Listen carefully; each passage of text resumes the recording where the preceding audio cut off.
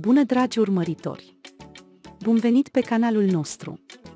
Nu uitați să vă abonați la canalul nostru și să activați notificările pentru a fi primul care află despre videoclipuri noi.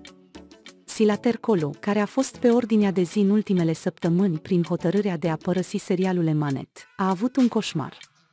Sila, care s-a întâlnit față în față cu hoțul care într-o dimineață intrase prin efracție în casa ei, a sunat apoi la forțele de securitate și a cerut ajutor. Potrivit știrilor unui site de reviste, incidentul a avut loc marțea trecută.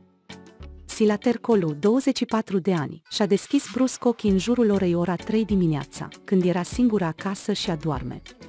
În acel moment, actorul a întâlnit un tânăr care se strecurase în casa lui.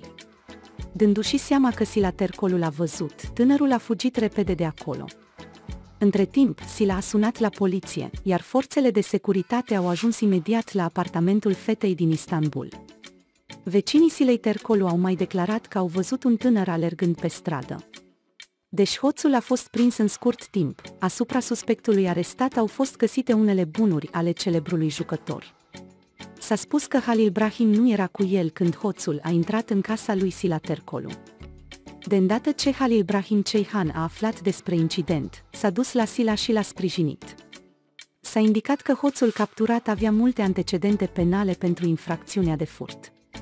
Suspectul ar fi fost arestat și trimis la închisoare. Am ajuns la finalul videoclipului nostru deocamdată. Ne vedem în alte videoclipuri. Ai grijă de tine! La revedere!